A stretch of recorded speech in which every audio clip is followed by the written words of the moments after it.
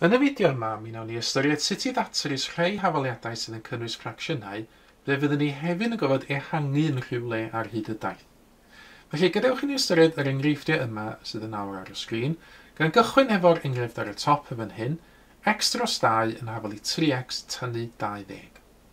Nawr i gychwyn datrys yr hafaliad yma, be dwi am wneud ydy lliosi bob ochr o'r hafaliad efo'r rhif 2. Na mi wneith hynny gael yr effaith ar y ochr chwydd o gael gwared o'r dau o wylod y ffracsiwn yn fan hyn, a gadael fi fod dim ond top y ffracsiwn sydd yn x yn yr achos yma. Os dwi'n llosi'r ochr dde hefo 2, mae rhaid fi gyflwyno cromachau. Mae rhaid fi gychwyn efo rhif 2 dwi'n liosi hefo, a greu yn y cromachau wedyn be oedd ar ochr dde ar hawled gynt, sef 3x tynnu 20.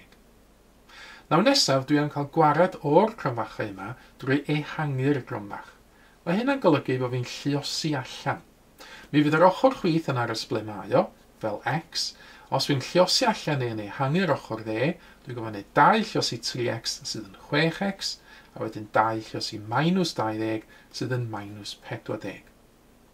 Nawr nesaf ar gyfer datrys yr hafaliad yma, dwi am gael y termau mewn x i gyd ar un ochr o'r hafaliad.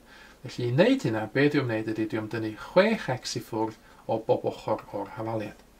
Nawr, os dwi'n tynnu 6x i ffwrdd ochr chwith yr afaliad, mae 1x y fan hyn, tynnu 6x yn mynd i fi lawr i minus 5x.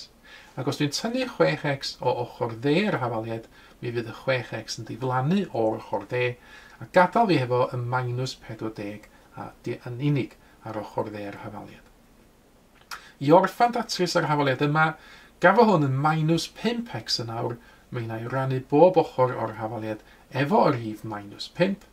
Mi wneud hynna gael yr effaith o adael fi efo dim ond x ar ochr chwith, ac os fi'n wneud minus 40 rhannu efo minus 5, mae hwnna negatif rhannu negatif, felly mae'r ateb yn fod yn bositif, a mae 5 yn ffitio fyny 40 8 o weithiau.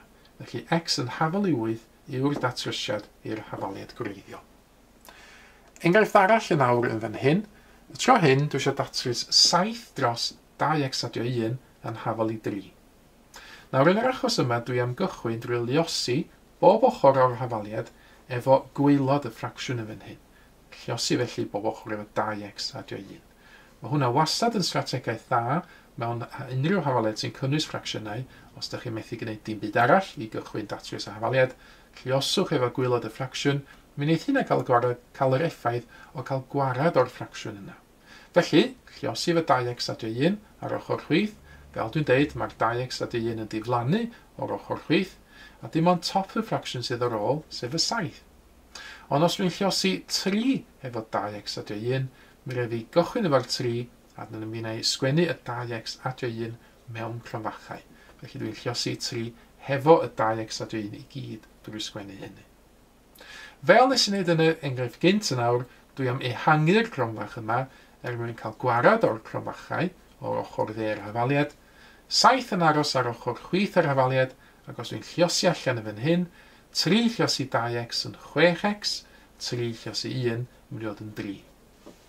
Nawr nesaf ar gyfer yr hafaliad yma, be dwi am wneud ydy dwi am dynnu ffwrdd 3 o bob ochr o'r hafaliad.